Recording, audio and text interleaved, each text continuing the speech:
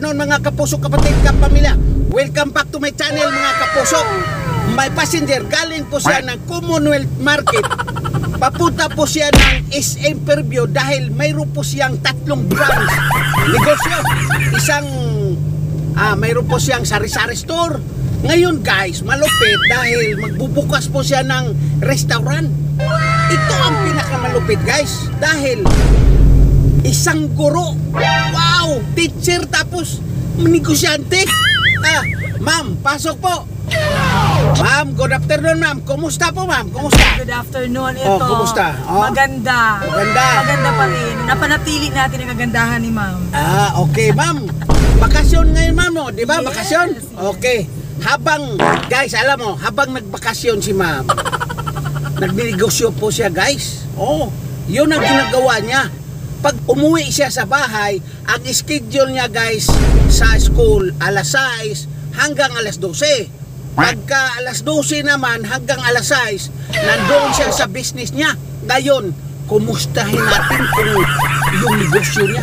Kumustahin natin guys. Let's go! Ah, ma'am, kumusta ang negosyo ma'am?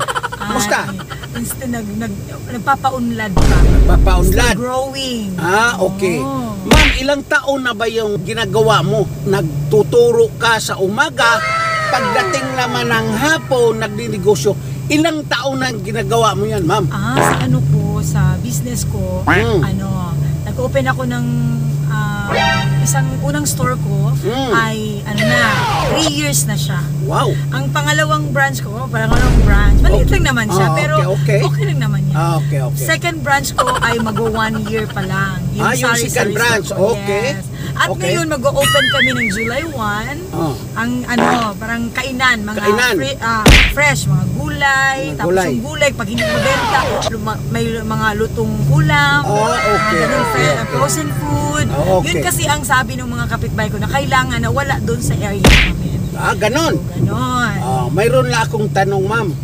Hindi ka ba nahirapan, ma'am? Magtuturo tapos diretso na sa tindahan mo? Ah. Ano bang sekreto mo, ma'am? Malupit ka? Time management. Time management. Ah. Ito mga kapuso, kapatid, kapamilya. Ito si ma'am. Lahat ng teacher dyan, dapat makinig kayo sa video na to. Ang lupit, ginagawa niya, tatlong branch na po.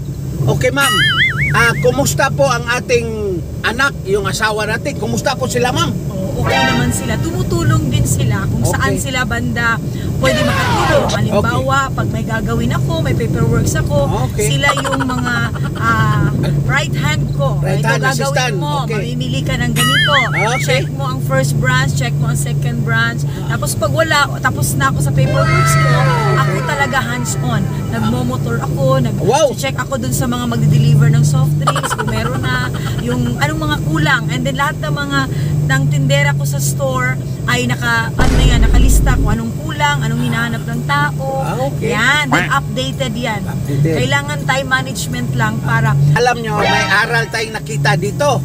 Anong aral? Yung aral, nagtuturo ng umaga, pagdating ng hapon nagninegosyo, kung kailangan niya, magpupundo siya kasi ilan na ba yung anak mo ngayon, ma'am? isa lang anak ko. Ah, isa lang. Ang taon na po. Ah, 17 years old. Grade 17. 12 ata siya this coming. Grade 12 in this coming school. Ah, okay. Ano bang plano mo sa anak mo? Kasi ang dami mong negosyo, isa lang yung anak mo. Ano bang plano? Ano bang course o ikaw isang bilang teacher? Ano bang gusto sa anak mo? Ah, s- ngayon marami siya pinagpipilian, hinahayaan ko siya sa mga bagay na yan kasi buhay niya yan.